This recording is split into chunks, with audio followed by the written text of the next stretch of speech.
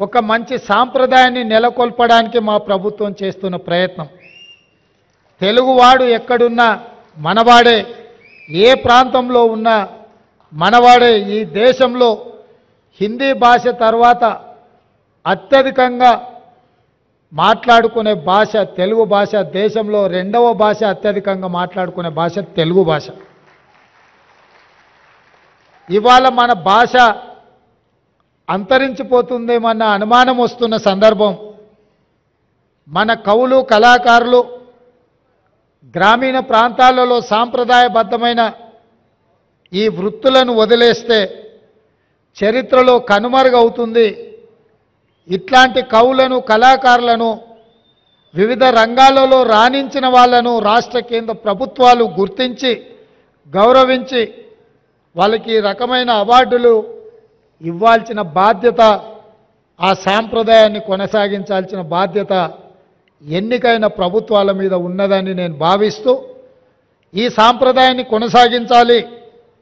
అందుకే ఎక్కువ సమయం తీసుకొని వారిని సన్మానం చేసినా దానికి అర్థం ఉండదని ప్రకటించిన ఎంబడే పెద్దలు వెంకయ్య నాయుడు గారిని చిరంజీవి గారితో మాట్లాడి ఈ కార్యక్రమాన్ని ఏర్పాటు చేసినాం.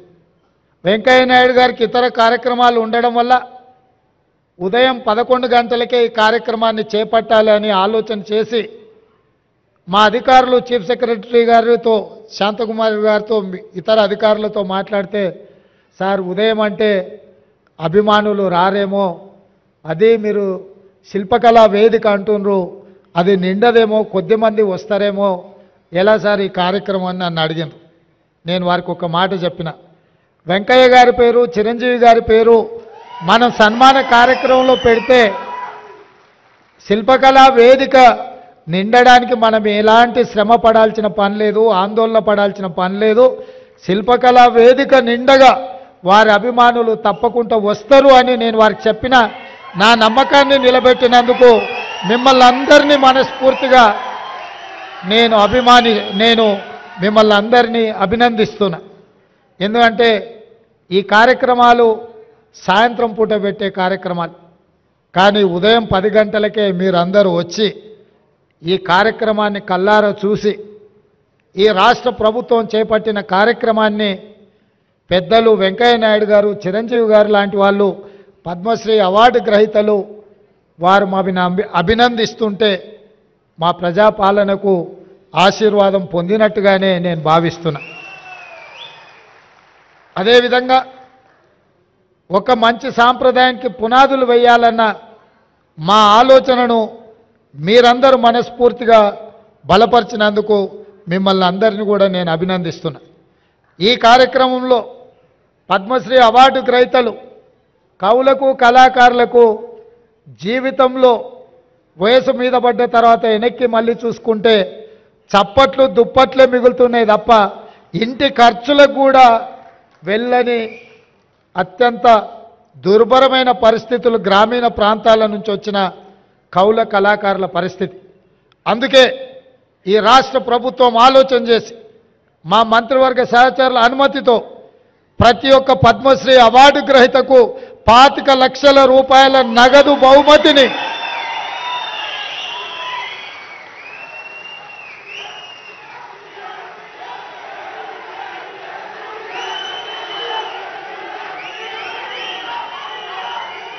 రాష్ట్ర ప్రభుత్వం ఈ పద్మశ్రీ అవార్డు గ్రహీతలను చప్పట్లు దుప్పట్లతోనే కాదు నగదు బహుమతి ఇవ్వడం ద్వారా జీవితాంతం ఈ కళలకే వారు అంకితం చేసి మిగతా జీవితాన్ని కూడా ఈ కళలోనే వాళ్ళు రాణించాలని మన ప్రభుత్వం ప్రజాప్రభుత్వం పాతిక రూపా పాతిక లక్షల రూపాయలతోటి నగుమతి నగదు బహుమతి వారికి ఇవ్వాలని మా ప్రభుత్వం నిర్ణయం తీసుకున్నది. ఈ వేదిక మీదనే పెద్దలు వెంకయ్య నాయుడు గారు మిత్రులు చిరంజీవి గారి చేతుల మీదుగా వారికి ఆ నగదు బహుమతిని ఇవ్వాల్సిందిగా వారికి విజ్ఞప్తి చేస్తున్నా.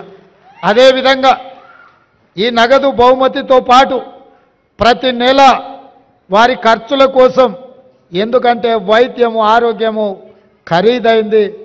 ఇంట్లో చిన్న చిన్న ఖర్చులు కూడా ఈరోజు పెరిగిపోయినాయి. అందుకే ప్రతి నెల ఈ కవులకు కళాకారులకు పాతిక వేల రూపాయల పెన్షన్ ఇవ్వాలని కూడా ఈరోజు ఎందుకంటే వాళ్ళు నిరుపేదలు.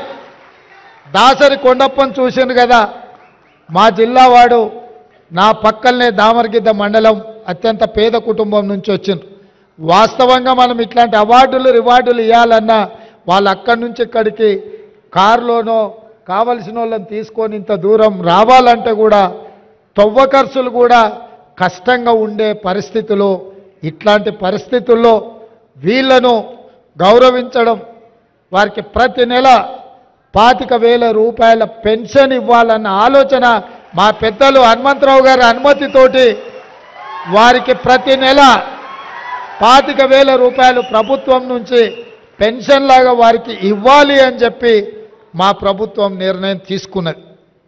మిత్రులారా నేను ఒకే ఒక్క మాట ఈ వేదిక మీద నుంచి చెప్పదలుచుకు. సాంప్రదాయాలను గౌరవించాల్సి వచ్చినప్పుడు మన భాషను మన సంస్కృతిని మన సాంప్రదాయాలను కాపాడుకోవాల్సి వచ్చినప్పుడు అన్నిటినీ పక్కన పెట్టి మనందరం ఏకం కావాల్సిన అవసరం ఉన్నది.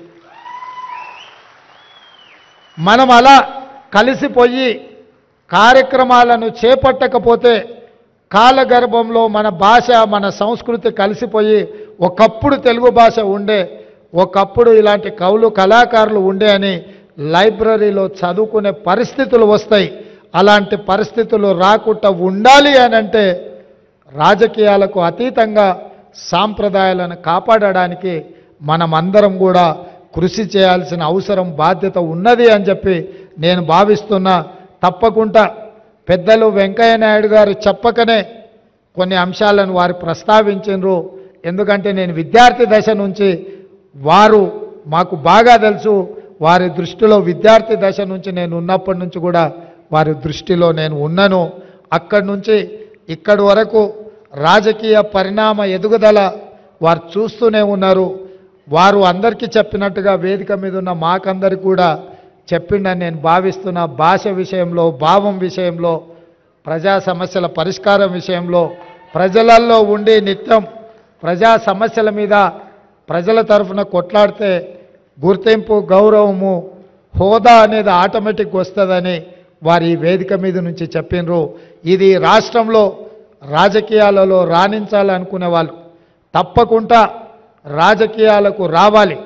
ఎందుకంటే ఈ రాష్ట్రాన్ని కేంద్రాన్ని బలమైన రాష్ట్రంగా దేశంగా నిర్మించుకోవాలి అనుకుంటే బలమైన నాయకత్వం ఉండాలి. దేశం పట్ల భక్తి ఉండాలి. రాష్ట్రం అభివృద్ధి పదం నడిపించడంలో మనందరం కలిసికట్టుగా ముందుకు వెళ్ళాలి.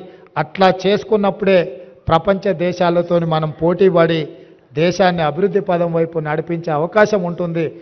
తప్పకుండా మీ ఆలోచనలు.